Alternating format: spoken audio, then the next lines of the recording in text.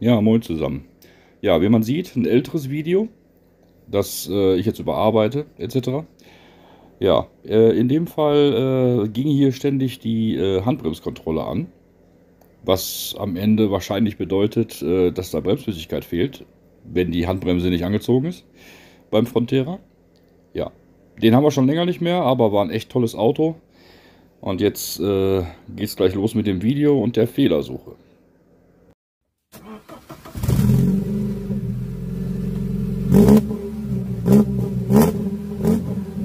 Ich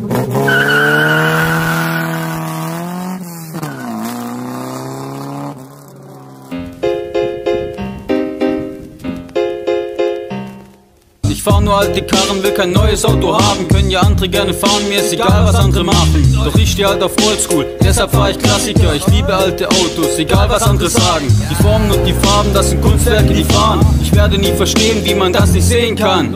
Ist ja auch egal, jedem sein Ding. Doch weil ich alte Autos fahr, werd ich heute schon beschimpft. Mein Oldtimer macht vielleicht mehr Dreckpartikel, doch dein E-Auto ist nur ein Wegwerfartikel. Nicht gerade nachhaltig, was ihr da so macht. Wenn ihr jedes Jahr ein neues Plastikauto fahrt.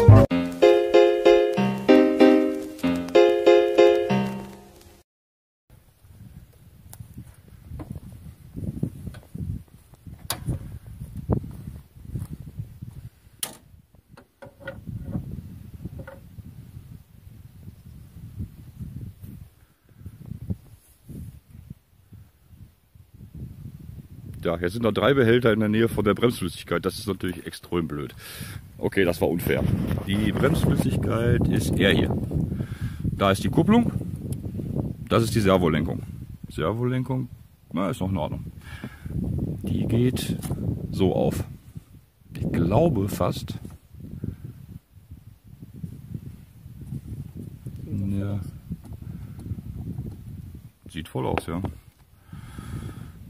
Naja, noch kommt noch ein kleinen Schluck.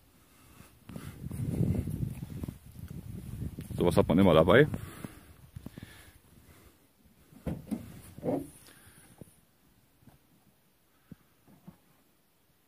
Kühlmittel, Bremsflüssigkeit, Öl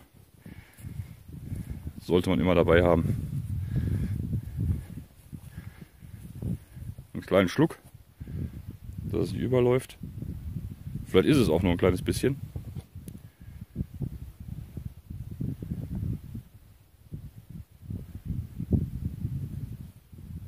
Ja, hier oben in, diesen, in diese Fuge muss das rein.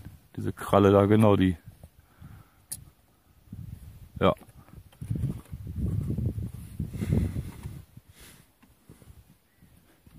Guck mal, ob die Leuchte nochmal angeht.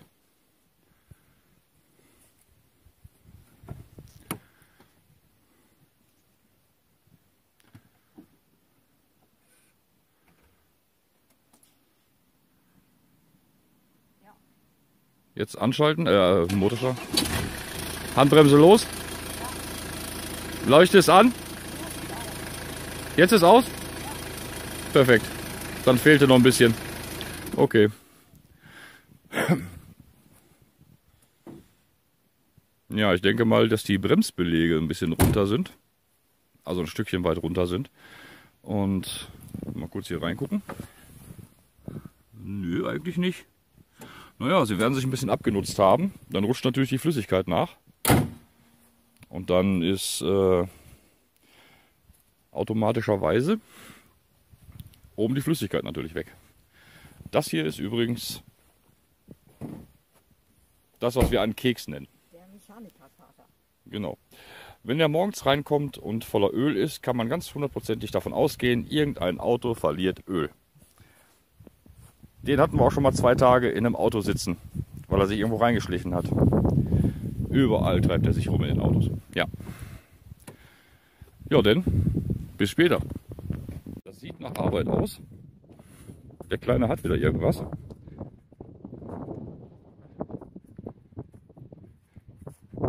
Lass mich raten. Am Öl kann es nicht liegen, ist keins drin, oder wie? Das Radlager? Ja. Ich glaube, heute mal Zeit, das Radlager fertig zu machen. Jault ein bisschen. das Radlager ist äh, in dem Fall, wie bei einigen Autos, nachstellbar. Zwei konische Lagerhälften werden auf Pressung zusammengesetzt. Hier übrigens sehr gerne genommen bei Geländewagen. Der Wagenheber vom Land Rover Serie. Der serienmäßig, nicht vom Land Rover Serie 3 oder so. In dem Fall war der im Discovery drin. Ja. Oh Gott, der Kater.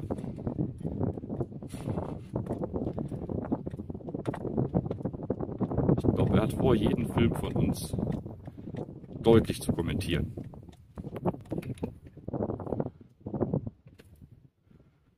Kann man ausziehen. Sehr zu empfehlen, die Dinger. Wie viel wiegst du? 50 Kilo? Ja. Das reicht nicht. Ich glaube, das war genau das, womit sie festgezogen werden. Ja, stimmt. Hatten wir mal festgestellt. Wenn sie auf den Drehmomentschlüssel draufsteigt, sind es genau 130 Newtonmeter. Okay, wir wechseln mal kurz die Kamera, beziehungsweise du filmst mal weiter.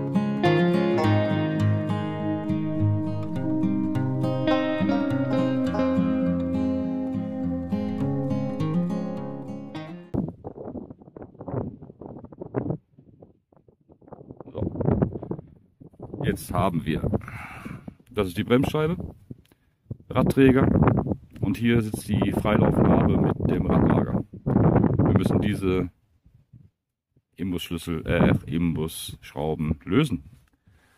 Imbusschlüsselsatz liegt da drüben.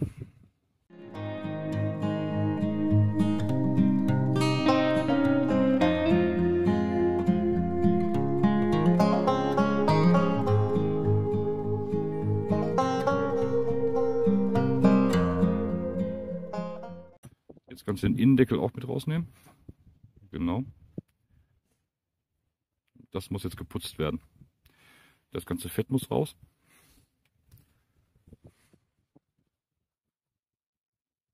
Dann sieht man nämlich, dass das ein Sicherungsblech ist.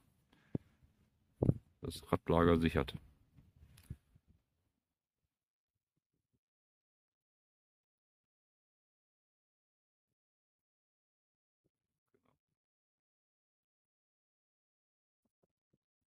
Legen wir den Lappen da drunter. Nehmen uns den Bremsenreiniger. Sprühen das ein bisschen aus. Vor allen Dingen an den Schrauben, die da sind. Genau, das müsste reichen. Jetzt nehmen wir uns den Kreuzstützschraubendreher. Der kleine liegt da. Genau. Erst mit dem Hammer hinten draufschlagen. Nicht drehen jetzt.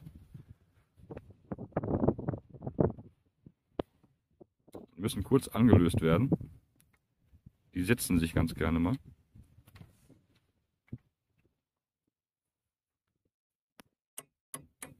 Erst wenn das da drin ist, drehen. Genau. Nein, nein, nein, nein, nein. Wenn du merkst, halt mal kurz die Kamera. Nicht, dass wir gleich eine runde Schraube haben, dann Mist. So. Den auch mal hier Platz nehmen auf den Kollegen. Das sind sogenannte Prellschläge.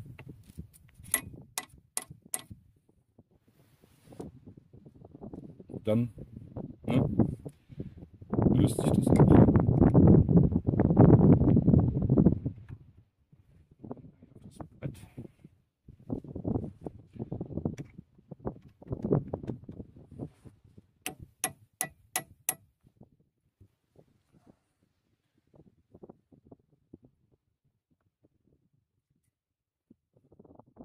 Problem ist, da Fettfüllung drin ist. sind die Schraubenköpfe natürlich auch voll. Und so ein Gleitmittel beim Schraubenlösen braucht man nicht.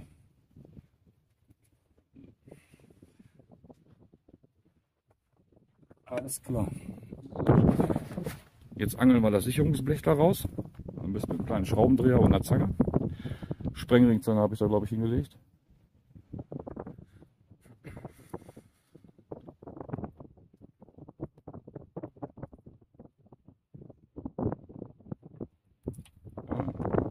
Auch aufs Brett legen. So, dahinter ist jetzt äh, die Verschraubung, die die ähm, Lagerhälften hält. Dann nehmen wir uns einen Schraubendreher, einen normalen Schlitz und drehen die auf. Einfach hier irgendwo einsetzen und aufdrehen. Ja, ist nicht sonderlich kompliziert.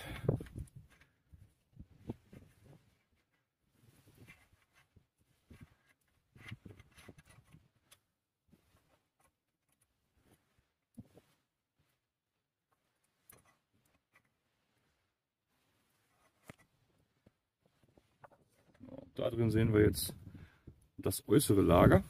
Gucken wir mal, ob wir das rausgeruckelt kriegen.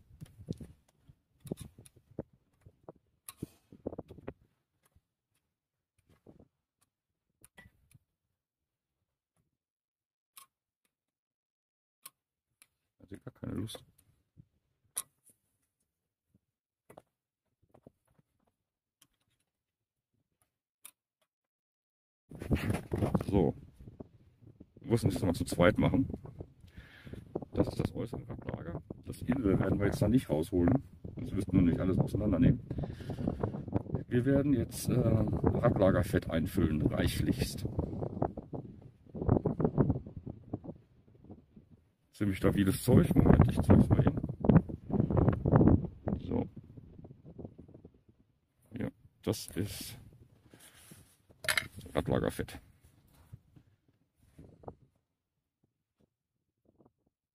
Richtig schön satt rein.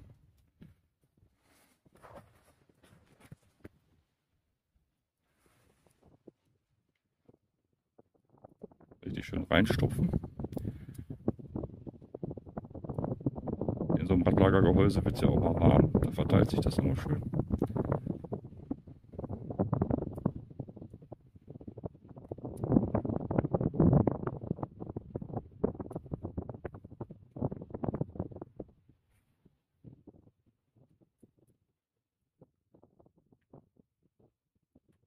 Richtig schön reinpressen, dass es bis hinten hindurch geht. Genau.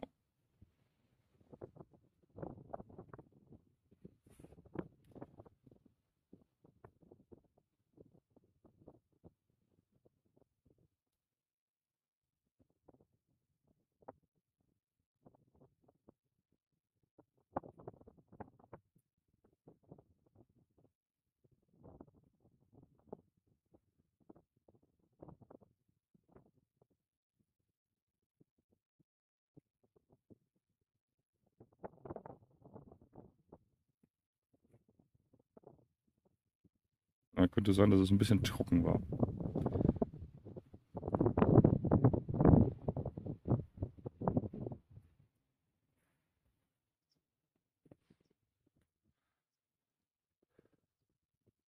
Ja, das sollte langsam reichen.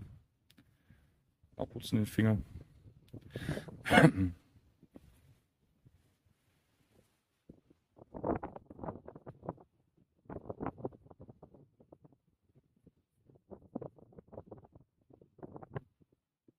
So. Und jetzt Einbau in umgekehrter Richtung. Wir nehmen das Radlager. Das äußere, genau. Stecken das konische natürlich nach innen. Das hat äh, ne? auf der anderen Seite quasi einen Partner, der ist genauso konisch, geht zur Mitte sozusagen runter. Darauf läuft der Wagen und der wird durch die Verschraubung vorgespannt. Ergo lässt sich das schön, ja, schön reinpressen, genau. Nehmen wir ein bisschen Schraubendreher oder so. Warte. Hier.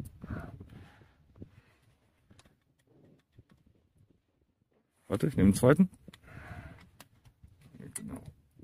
Schön, dass es rauskommt. Und das wird dann auch noch drumherum verteilt. So, ja. so, jetzt hebt sich die Radnabe an, wenn es drin ist. Wenn es denn drin ist. So, das verteilen wir jetzt auch noch.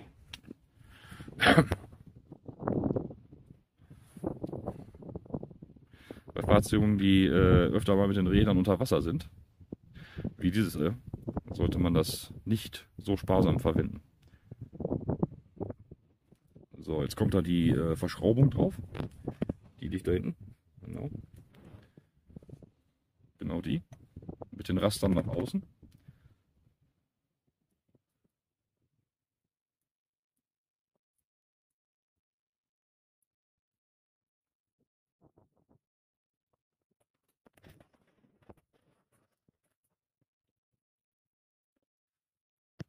Noch ein bisschen die Sprengringzange nehmen hinterher. In zwei Löcher rein und so. Ohne Dreck. genau. Und fest drin.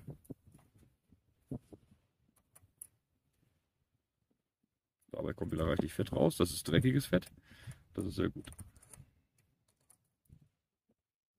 Dreckige wird jetzt rausgepresst.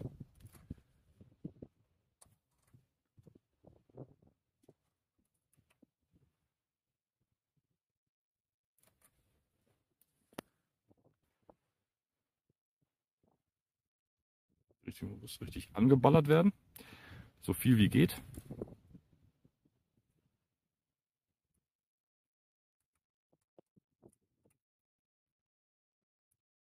Kommt der Trick, wie man Radlager einstellt.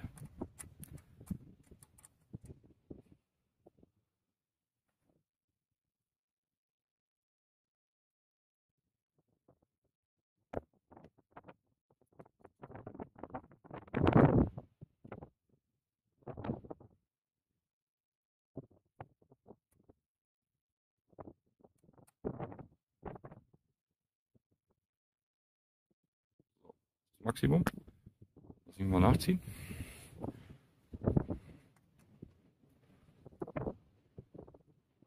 Ja, das ist Maximum. Nimm die Zange. So. Einfach mal hin und her. Hört sich gut an.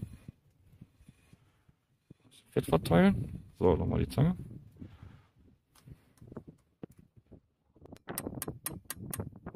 einmal alle sechs Jahre wird so ein Ding mal gewechselt oder ausgetauscht oder mal gewartet. Zu Deutsch lohnt sich nicht. Entsprechend Zufrage. So, es lässt sich das Rad nicht mehr bewegen. Das bedeutet, wir müssen da, wo wir jetzt den Schraubendreher eingesetzt haben, bis zur nächsten Verschraubung zurückschlagen.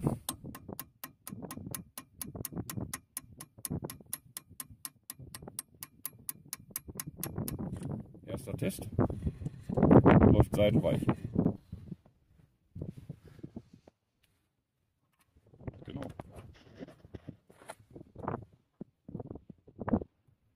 Vorher abputzen. Nochmal raus. Sonst findest du die Löcher nicht mehr.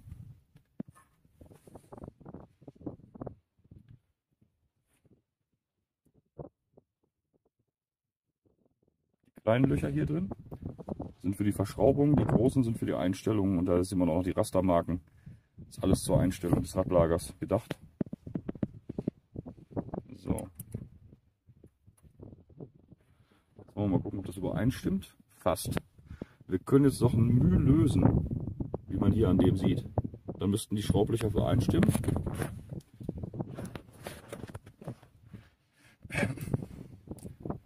So, wir nehmen den großen, das große Loch.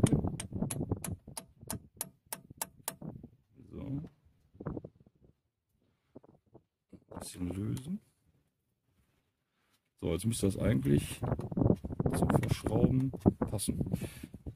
So, hier ist eine kleine Schraube.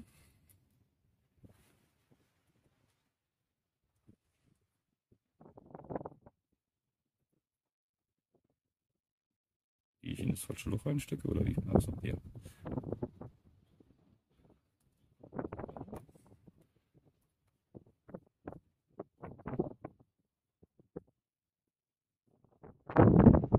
Einmal nochmal wieder den Prellschlag. Wetter rausgedrückt wird und fest. So, jetzt die andere.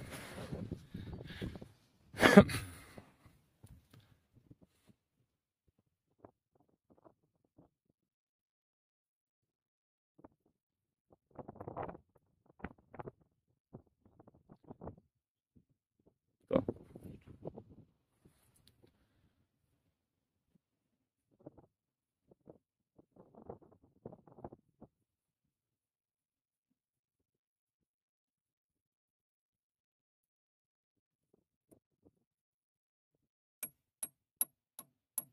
Genau, das Fett raustreiben und einmal richtig festziehen. Fertig. Die letzte.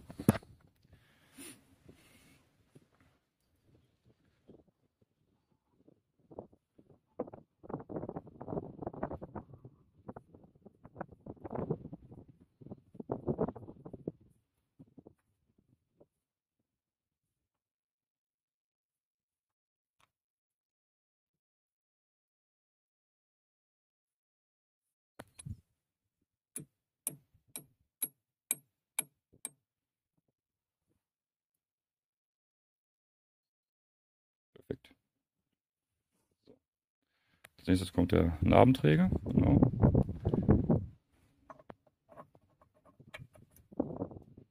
Der wird wahrscheinlich so nicht passen. Hat sich ein bisschen gedreht.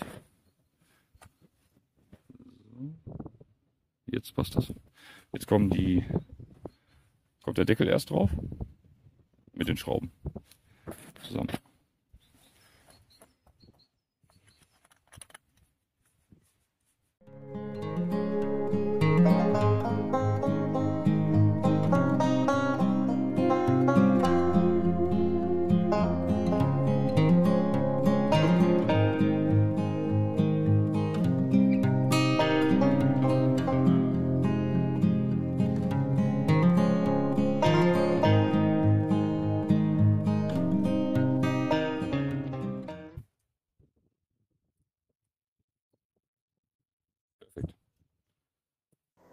So, das war's für heute.